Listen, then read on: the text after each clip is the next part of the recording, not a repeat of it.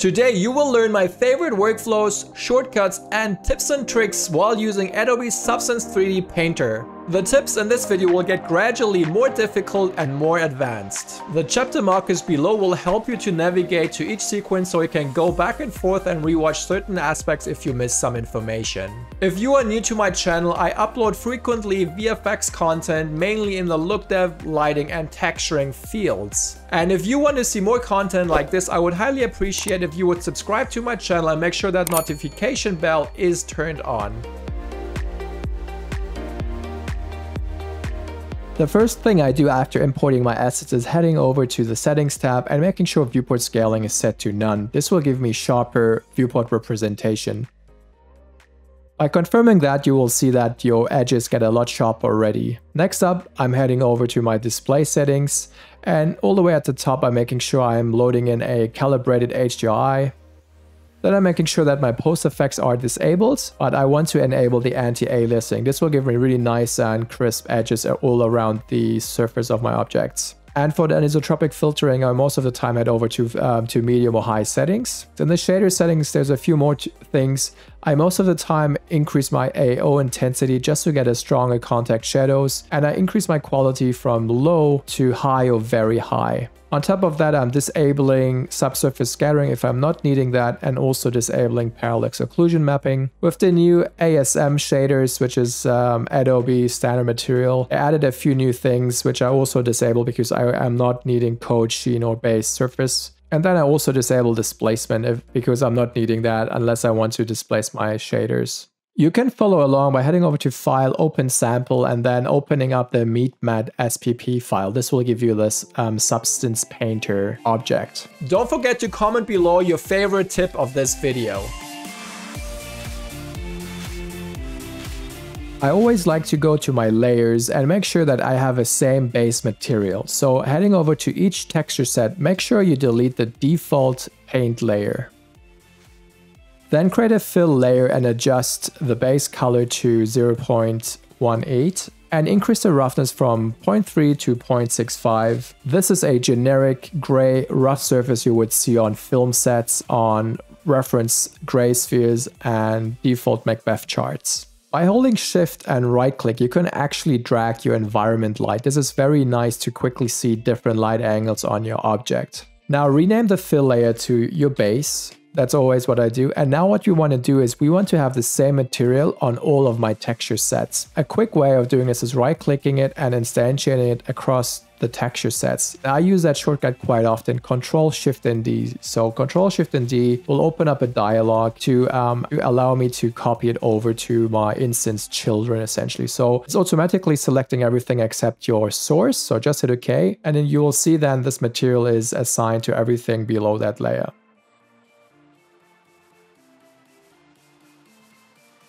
Now let's bake our mesh maps. Heading over to the texture set settings, hit the bake mesh maps button or control shift B. And then these are here my default settings. And I also have a I also have a dedicated substance baking tutorial, so I will be rather quick with setting these. 4K for my output map, I always use a super sampling of 4. For ID map, I always go to Mesh ID polygroup and I use a random color, apply that to everything ambient occlusion, crank up the rays, and reduce the, um, the occlusion distance maybe to 0.25. Apply that to everything. Curvature also gets all the rays and we are also applying this to everything. Position is the default. Thickness will also get all the rays, apply to everything. And then we head over to bake selected textures.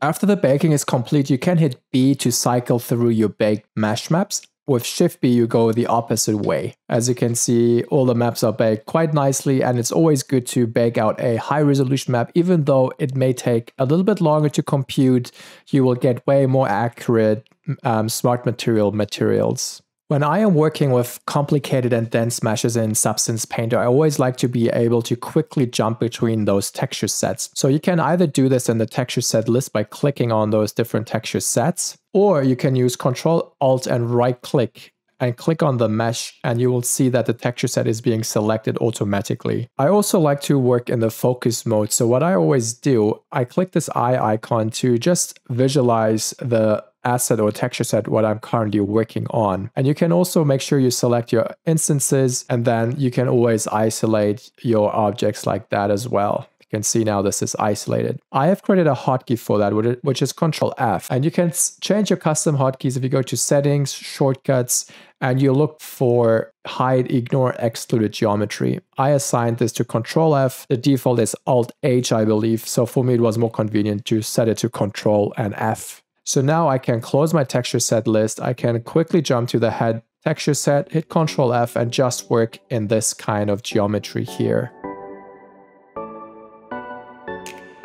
I want to show you the technique called quick masking. So first of all, let's create a paint layer. And obviously a paint layer is what it is. You can paint on it and do some funky things. You can project, you can use different kind of alpha masks, different kind of presets and, and just brush on it, right? So with quick masking, what I can do, I can hit Y to enable that. And now I can use some any kind of brush and I can brush in black, for instance. This will say, do not do anything in this area which is now painted black. If I now hit U, I'm back into painting mode. And if I now paint, you can see that I am not painting over the black area.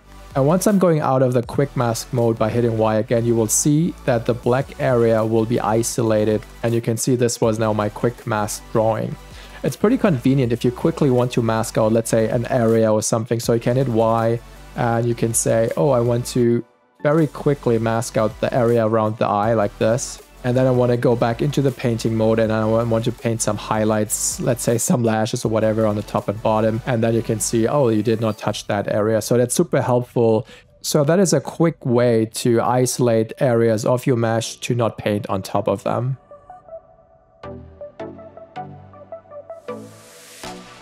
So if I cycle through my mesh maps, you can see that I have this ID color slot. And if you have a more complex object, you will have different IDs per texture set. Right now, I just have one per texture set, but you can see it's uh, three distinct colors. So if you want to assign a material with different kind of ID maps, what you can do, you can drag your material over. And if you hold control, you will see that the IDs are displayed. And the cool thing, if you have diff different IDs per mesh, you can just drop them on that specific ID and it will create you the object with a mask automatically assigned. And you will see that the mask is set to color selection. And if you click on color selection, you can see that it is picking the colors from the mask ID. And obviously you can pick different colors and it will assign those colors as well. Obviously we are working in different texture sets, so this won't happen.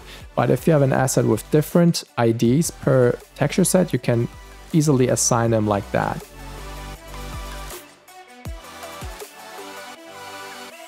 Now let's create a quick and complex material.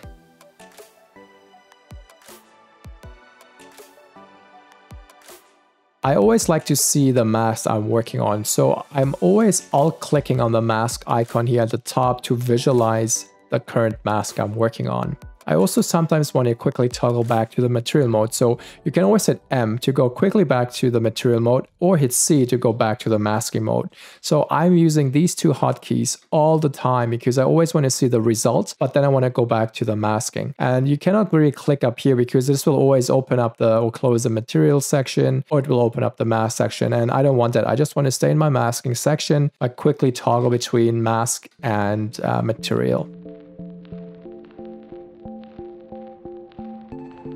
You can group your hero layer after it was instantiated, so by just hitting Ctrl G, you create a folder around it. Because we instantiated this machinery sublayer across the texture sets, we can still do any kind of masking on top of that. So on top of here, I can still create a black mask. You can see that this now is not affecting the other texture sets, which is quite nice. And I can go in here, can go back to masking, and I can just drop some kind of mask in the slot and you will see it only affects the top layer now. And that is because, as I said, we just instantiated this and this is not this the sublayer here does not have any masking.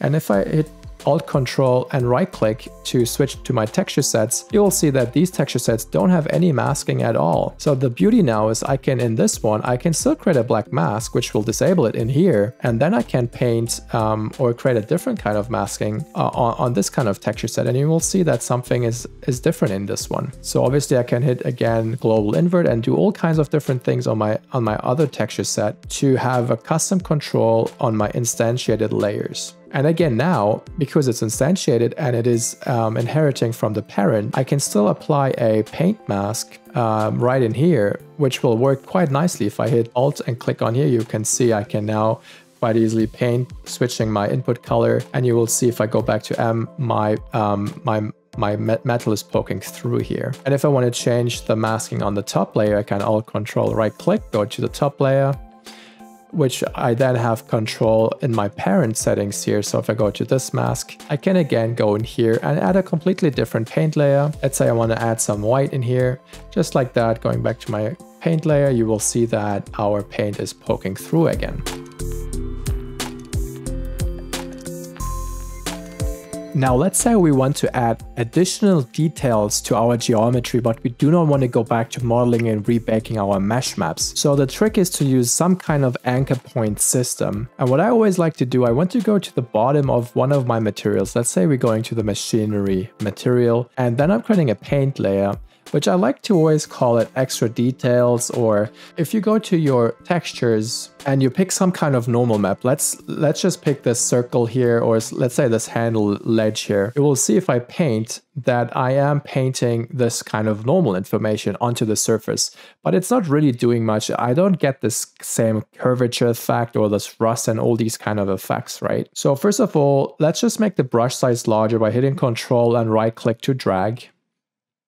That way I can place it a little bit more intuitively. So the trick is now to convert this extra details layer. Let's just make this red and let's right click this and say add anchor point. So this layer now will be converted to an anchor point with the name extra details. And you want to affect everything above this layer. So in this dirt layer here, if I go to the mask, se mask section, the mask editor has a tab which is called micro details. And it has also texture slots for micro normals and micro height. Because we painted a normal map, if you go to the extra details tab again, you can see that we just painted the normal section here. We don't actually need height, just normals. And in the mask editor, you can go to micro normals and instead of picking some kind of texture, you're picking an anchor point. And the anchor point is named extra details because that is our name.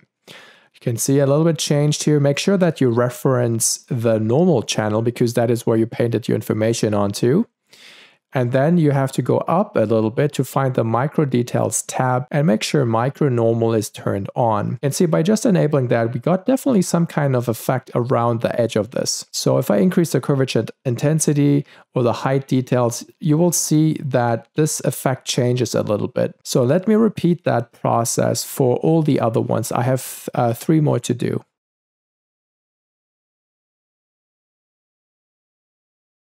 So now you can see we have a very effective way to add more details to our object. And you can go into each of those mask editors and dive down to your micro tab, micro details tab, and play around with the radius of all these different kind of channels. And you can play around with depth. And you can see that we are adding way more detail to this. So let's head over to the back of the head and maybe go back to our extra details layer. And maybe let's just use a different kind of stamp. Maybe this um, the circle here. Let's just drop that in here. Maybe change the brush size a little bit smaller, control right click and drag. And you can now see we have this weird effect here on the back. And you can use all sorts of different materials or different textures. Maybe let's try this one. And you can see we get all these nice additional details. And depending on the size, you get a different effect. And also if you go to our texture sets, we can change our overall quality to be 4K. That way we have higher details and more interesting effects. You can see the front looks also now a lot better, but essentially you can see that based on this workflow, we can paint way more interesting effects.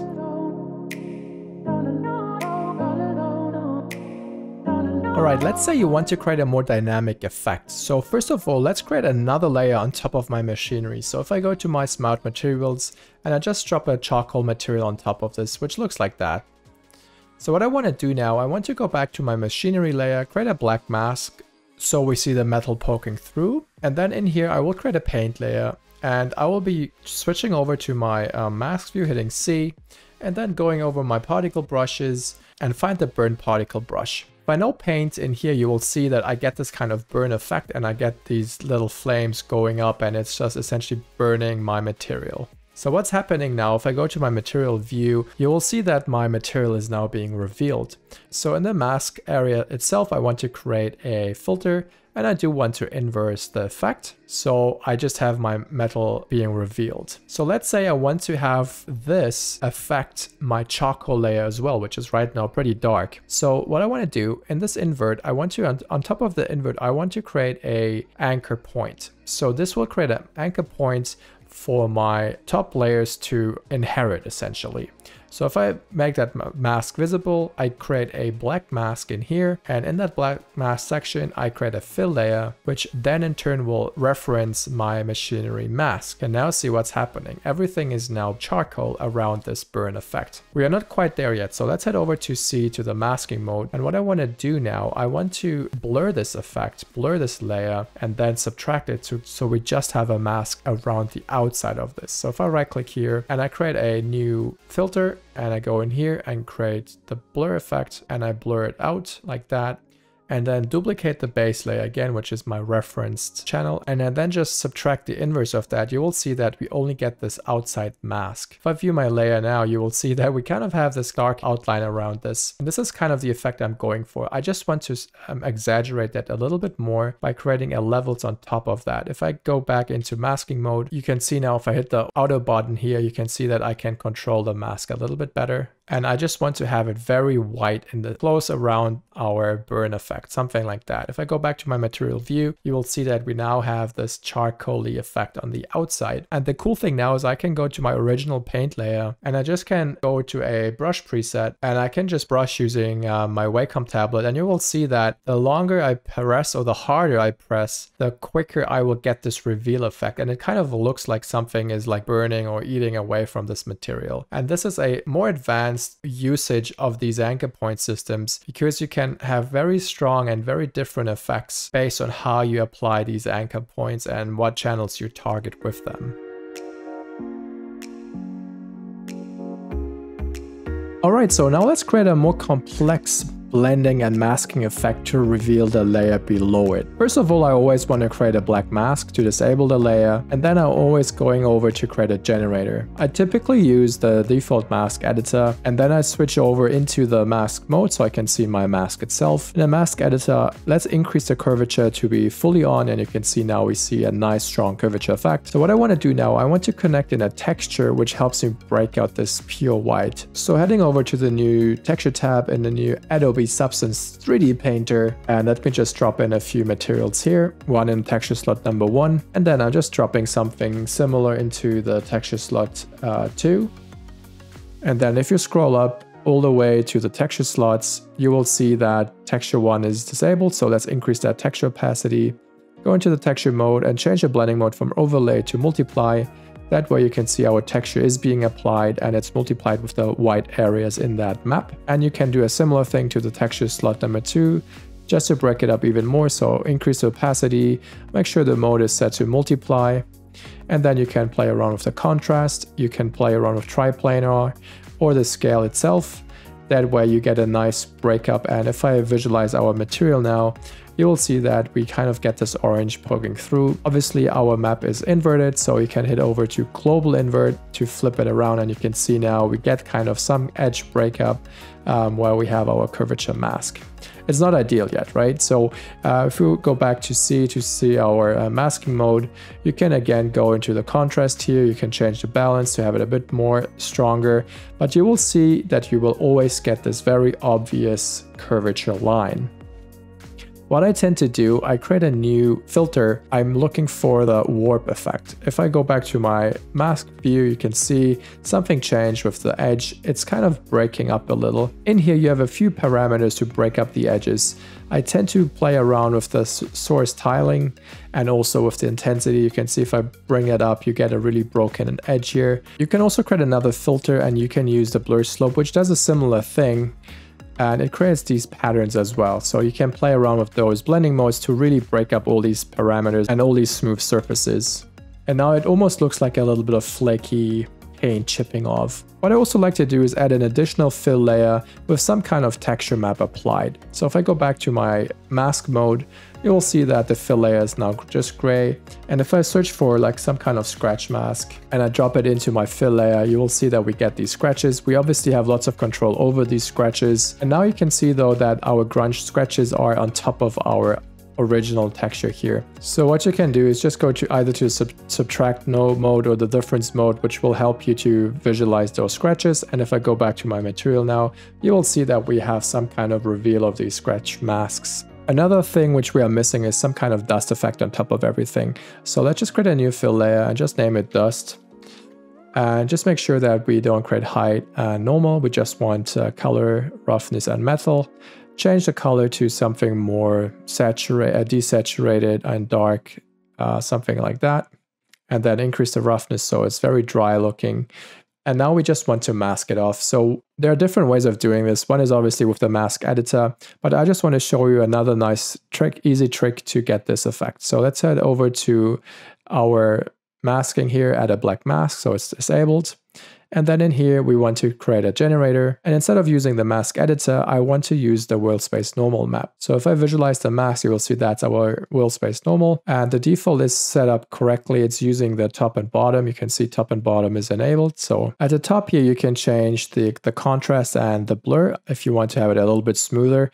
What you can see though is that the, our world space normals are also affected in these lower regions where the normals are facing upwards. And we don't want that. We only want it on the top. So what you can do is just create another generator and change this mode from um, and change this generator to an ambient occlusion generator. You can see now this is what that looks like. And in here you can also change um, the balance, have it more contrasty, and all that. And you can see that all these inside areas are now essentially disabled. Problem now is it's on top of our world space normal. So all we've got to do is change the blending mode to multiply. That way we are ignoring the inside and we will only have the outside of our sphere. You can see this is without it, and that's when it's enabled. And if I now visualize our material, you will see that we have this nice dust effect settling on top. And again, you can go to the world space normals, play around with the balance to have it a little bit stronger. And you can see it's very cool. It's not really going inside these crevices. And obviously, if you want that, you just um, not have this occlusion. You can see that the dust is collecting on the inside and all over the place. If you learned something today, make sure to leave a like and also subscribe to my channel. I would love to see you in my next video.